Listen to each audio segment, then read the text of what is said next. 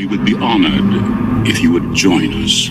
Everyone's invited, of course. Hey, Star Wars fans and action figure collectors, welcome back to another figure review. We're going back to some more Galaxy of Adventures figures. We've got Boba Fett. Um, big thanks goes out to Goodies Toys for this one. Uh, this is just a gift, um, just his way of showing a bit of support for my channel. So I will, in turn, support Goodies Toys with a review of this figure. So yeah, jump on over to Goodies Toys, support local Australian businesses. It's very important. Um, yeah, really excited to have this one in hand. It looks fantastic. I'm so stoked on this figure. It's going to go really well on my Boba Fett shelf. Um, yeah, this one hasn't real. This one hasn't hit mass retail here in Australia, so um, yeah, it's kind of been tricky to get a hold of. I did see one on eBay listed for like 80 odd dollars. No, no, no, no.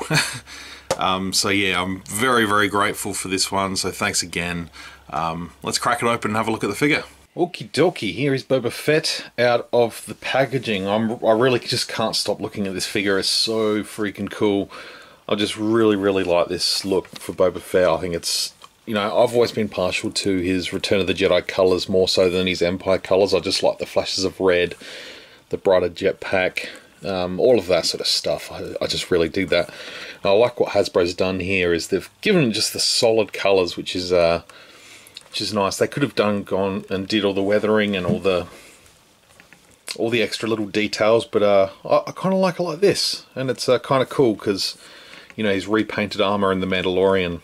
You know, looks very similar. Of course, the uh, his sort of jumpsuit is still grey here, but um, so he's definitely going for the Return of the Jedi look here. Um, but yes, it's just so cool. I love the blaster. That looks great. Sits in his hand really nicely. So it's cool. Some of the sort of decals. The little symbol there. Mythosaur skull. So these little thing there. The jetpack does come off.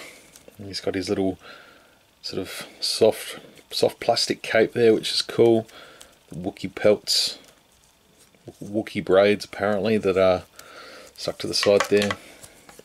Here's the jetpack. Now these figures do come with like a uh, like a playability feature, and this one does have, you know, you can take the missile out and you can put the slightly longer um, flick missile in there. But uh, for some reason mine doesn't work. It's uh, there's a button there to to launch it, and uh, I think either the spring's broken or you know something's gone wrong with the inside and it just it doesn't pop like it should. So I'm not too fussed. Um, I'm more than likely just uh, glue this one in, but uh,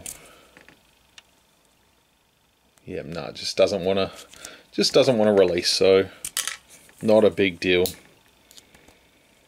So I'll just leave that in there. I'll probably glue that in place, and uh, that way I know I'm definitely not going to lose it. But yeah, just really cool details. I like this.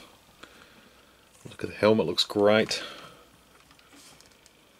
half tempted to just put the little grey, little bit of silver there where the uh, dents on the helmet, but that's that's okay. I like the way that the armor's sort of sculpted here too. That looks good.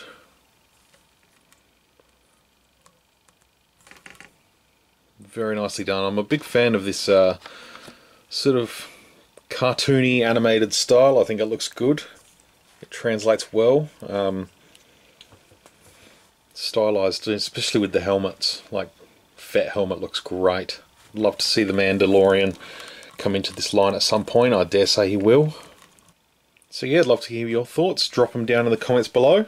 See where you stand on this line of figures. I've got a, quite a few of them now. Um, definitely not complete. Um, I'm not going to worry about trying to get them complete too. But uh, yeah, they're just fun, cool little figures. You know, sort of four, five inch probably 5 inch. Definitely targeted towards the kids more, but uh, yeah, I think they're just really cool and this one will go nicely on my Fett shelf.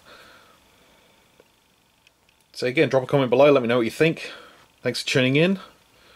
If you like this video, please give it a thumbs up. If you've yet to subscribe to my channel, please do. And I'll try and get this Boba Fett into focus before the video ends. so thanks for watching guys, until the next video, may the force be with you, always. We're a little rushed, so if you'll just get on board, we'll get of here.